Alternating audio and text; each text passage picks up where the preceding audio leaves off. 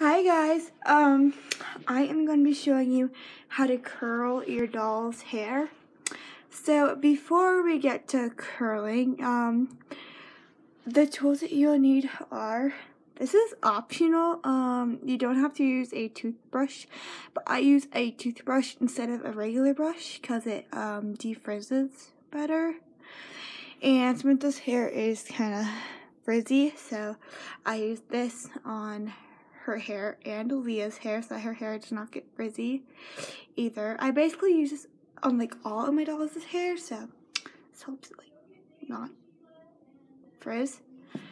Um, you can use an American Girl brush, but I don't recommend it because it gets frizzy on like curly hair and it also gets like the ends pretty dry and also like flattens out the curls which we don't want that so I don't like I recommend this on straight hair dolls but not like wavy or curly hair so.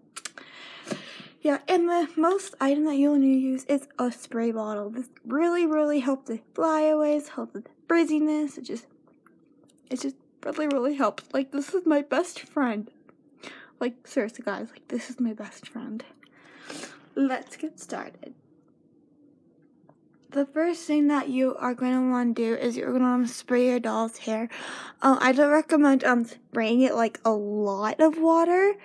Um, you just need it like kind of like damp, but you don't want it like dripping because that will lose the curl too. So I don't recommend like spraying her hair like a lot of water. Like I, don't, I don't really know if you can tell, but her ends are super dry and frizzy and you can tell like the actual hair is not as shiny either. So that's why a spray bottle really helps. Okay i'm just gonna spray her hair. I'll spray that. Okay so after you sprayed your doll's hair i'm gonna go over here. I'm actually gonna turn this a little bit. Um i'm gonna grab like here, let me back this up a little bit. You're gonna grab like a like just like a curl or like a section or whatever. And I want to start at the ends. You always want to start at the ends because that might be like the most knotted, I guess you can say. And you can just want to kind of brush very gently. And then after, you can just kind of twist it like this twist it. And this is optional, you don't have to brush the ends, but I usually brush the ends to get it. And then there you go. This is what the first curl looks like. You can like twirl it around if it's like too tight. Mine's kind of tight, loose. Kind of do that a little bit. Is basically how I curl it. Um, so yeah, um, you are gonna want to do this like all of the curls. Um, I will give you guys a little update. Um, if I like finish like curling all of um the hair.